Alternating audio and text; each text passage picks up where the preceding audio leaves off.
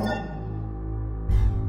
Alright guys, back again today. I hope you're doing well and enjoying your day so far. The Major 3 qualifiers are over and in traditional Optic fashion they've made it work against FaZe when it truly mattered most. An incredibly important series today. FaZe go 3 and 2 as always, but Optic and Shotzzy especially deliver a stellar performance today to take down the Major 2 champions on their way into their home major with a lot of wind in their sails. Very much enjoyed your thoughts in the comments. Hit the like button if you enjoy. Subscribe if you're new as always, I'd greatly appreciate it. So we've got to dive into of course the Subliner Surge series and this was honestly so mad to me just because we know, of course, what happened in the Subliners versus Optic series. Optic got destroyed, so you thought, okay, Subliners on a pretty good reign of form. Okay, it was close three maps they played, but it was nonetheless the 3 0s. You thought, okay, Subliners should be pretty good against Surge. I had them winning this one 3 2, but um, that's not what happened at all. Now, of course, FaZe went into their series. If they'd have won and beaten Optic, they would have secured Vegas Legion the winner's bracket spot for the major. And um, unfortunately for Legion, it seems the script writers were just not in their favour. Now, of course, Legion, what they should have done is just beaten Los Angeles Gunners. That would have put themselves in the best spot,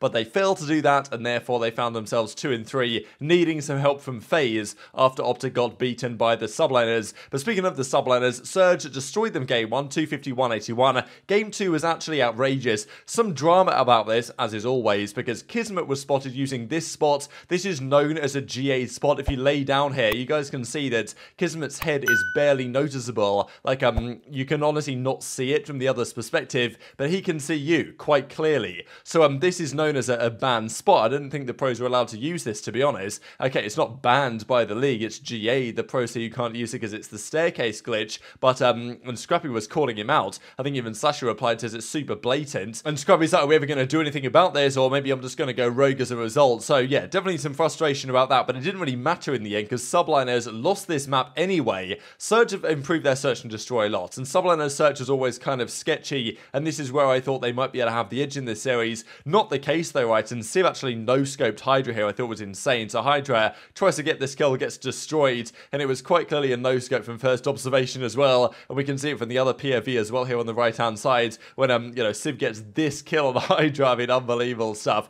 Probably wouldn't have won the round anyway, but still was pretty ridiculous. And that was helping Surge over the line in game two, and then game three, the control goes their way as well. Priestahh, I think, went 1 and 8 game 2, so he wasn't doing so well. Just some questions about the subliners, right? Because I still think they're a pretty good team. But Surge are there or thereabouts with the subliners right now. Online, it's always a bit sketchy, and Hydra was making some ridiculous plays, but Pred was playing even better, right? And I do think, really, with the subliners, there's some questions around. I like Skyz as a player, I like Kismet, I like Priestahh. Uh, Hydra's obviously a superstar, but they don't quite have the consistency that some of the top slayers in the league do. Skyz went crazy against Optic, but then today didn't really turn up too highly. Kismet's kind of, he's a bit on and off, I think, this season. More so than he was last year in Vanguard, and then Priest has been not, well, more underwhelming lately than he has been at the start of the game, let's say. And Surge take advantage. I mean, Sib goes negative, 0.98. Accuracy had a good series as well, but Pred, again, man, a 1.34. Like, this guy does it all. Most damage in the lobby. Watching his POV is just really, it's interesting to watch because his gun skill is great, but he puts himself in such good positions. Like, he's got this real good instinct for when to pre-aim, when to go fast, when to slow down,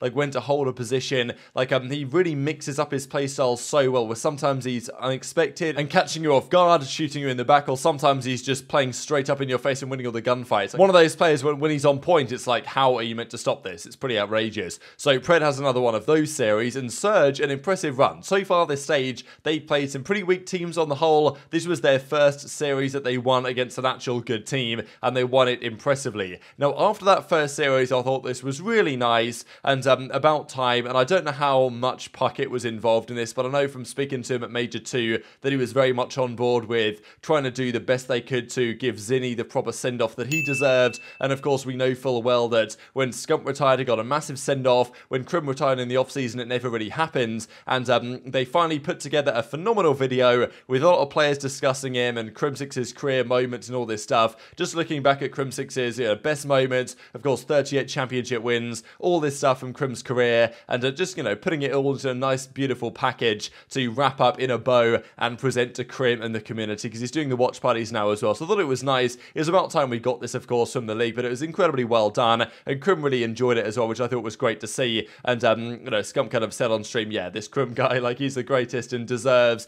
all the credit that he was getting, and the video, of course, that the CDL here put together for him. Now, I thought it was quite funny from Karma. He says, Matt and I must have died, but Fat Man is funny. Now, in fairness, I believe when Karma retired, they did some retirement video for Karma. Now, um, we know really that when the CDL has its inception, they kind of just tried to forget that anything pre-CDL even really existed, and Karma didn't really get the credit that I think he deserved when he retired, most certainly not, given his achievements in COD. Now, I think in fairness, they have done something for Karma and Formal, and of course, Scump, they did a big one when he retired, and then now Crimsix as well. So good to see that everyone's getting their credit, but, um, you know, you could argue it's been a long time coming, and maybe they should do some other ones for other players as well that have, especially going forwards, you know, for Clay and for others, whenever their time comes, I'm sure they'll have something ready. So, criminally enjoyed it. I thought that was a great little touch there from the league, and a great timing as well. Okay, you could argue it's a bit weird to do this at this particular moment in like a random Sunday, but it's not really a random Sunday. The final set of series of the qualifiers going into what could be the biggest major of the year, Optics Major, on the day that's going to get the most viewership in terms of online league matches anyway with Optic versus FaZe. So, just I think a really good time to do this. Now, speaking of Optic FaZe, let's dive into it. I said today that I thought, okay, Optic, I think they'll win at least one map here. I thought, well, you know, they they're going to have to break FaZe's S&D record to win this series because I thought there's no way Optic are winning this 3-1. I said it in the video. I was like, surely Optic can't win 3-1, so they've probably got to win a game 5 if they want to do it. But it turns out that's not the case.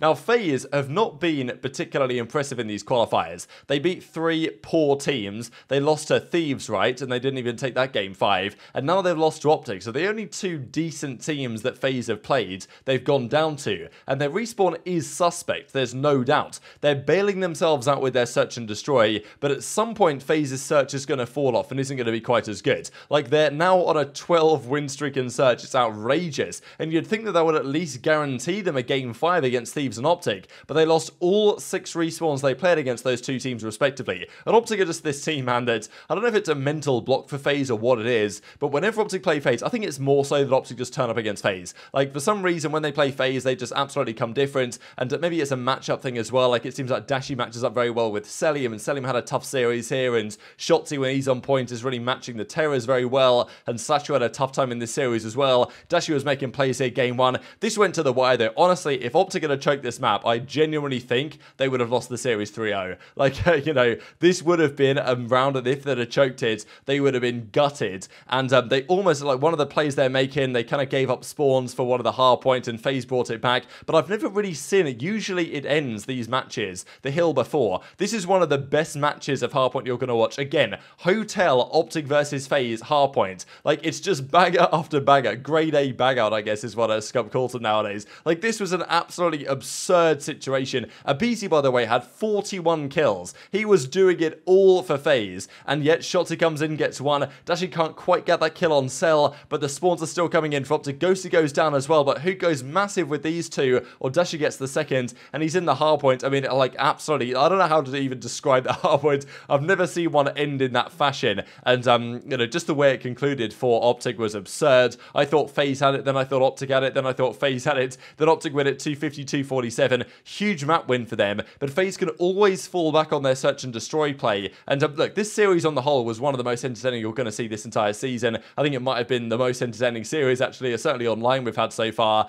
up there with Optic versus FaZe the last time they played. Now, um, okay, there was some interesting rounds here in the search. There was some that Optic arguably probably feel like they could have won, maybe should have won, and uh, again, they tied up 6-3. Who can only made a miracle 1v3 in the final rounds, but it wasn't quite to be. Optic go down 6-3. I think, okay, here we go. Classic stuff. It's probably going to go game 5, and then we'll see if Optic can break the streak. But it wasn't necessary because they won the control, and this was ridiculous to me because Optic's control has been bad, just straight up bad this season compared to where they need to be. FaZe has been very good. I will say as well, right, the fact that Slasher died there, got to give some credit to FaZe. Now, like, I don't know if Cellium's using loudness equalization. He probably is. I don't know if aBeZy is, but like Slasher is a man of his word. It's quite clear that Slasher, and I think the majority of FaZe aren't using it. Like, it was actually quite nice to see players making plays even without dead silence and still making flanks happen, and, um, you know, Slasher got caught off by it a couple of times. For example, here I'm pretty sure Shotzzy's dead, he runs out. Okay, maybe he doesn't run out and he still gets the kill anyway. But I saw some other occasions where they were getting caught off guard by players who should have been making noise that they just didn't necessarily hear because they didn't have the sound setting on. So give some credit to FaZe for that. Don't know what Optic were doing here because, you know, maybe Optic felt like they needed all the advantages they could possibly get, and FaZe do have a good 3 and 2 run in a set of qualifiers. But Optic take the control, and hopefully, for Optic fans' sake, this is the turnaround in that game mode because they need to be better in control if they actually want to win anything this season, and certainly the case, well, in this series. And it was such a huge map to win. And then they played Mercado. I was looking at these vetoes thinking, damn,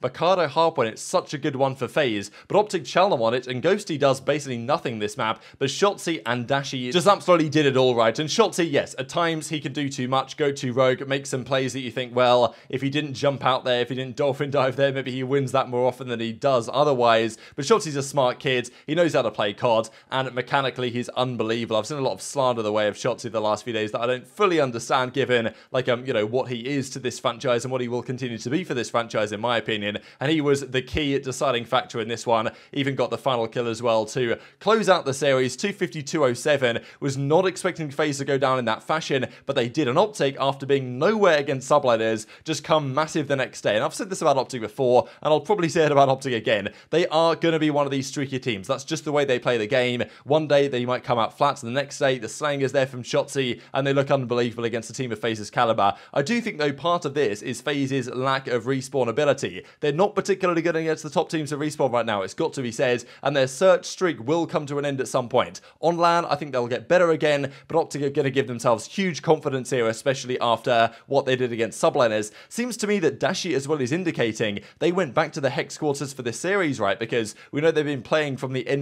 NVHQ. The Hecz quarters, I believe, is going away soon, and Hecz is kind of doing away with it. But I guess the Optic guys played from there today. They think the internet's better or whatever, and um, that seems to be potentially a difference maker for them. And unfortunately for Clay, after Clay said hashtag FaZe up, because if FaZe beat Optic, then Vegas would have gone to winners. Unfortunately, didn't happen. And then Dashy's just laughing, right? We know these guys have had their beef over time, and uh, Dashy was certainly rubbing salt in the wounds of this one. And just the overall numbers here, right? aBeZy was absolutely doing it all. Cellium has a 0.89. The world must be but it was Dashy, but especially Shotzzy that I thought was the standout in this particular series. And the final series, just to rub salt in the wounds of my predictions on the day, Boston versus Thieves. I thought this was going to be a close series. Boston, another team like Optic, where when they're on point, they are seriously on point. And Beans has kind of been up and down so far this, uh, well, since he's come into the league, right? He's had some bad series, some good series, but when he's on, he's certainly on. And it's the same thing with this entire team, right? They bowled over Thieves at times in the series. Thieves, though, some good resilience. They did rather well game two to tie this up because Boston dominated the first part of this game two, search and destroy. Octane was hitting some nice snipes, got this 1v2, ended up securing his team the 1-1 situation going into the control. And I thought, okay, damn, yeah, Thieves are back. They did this the other day. Thieves losing game one,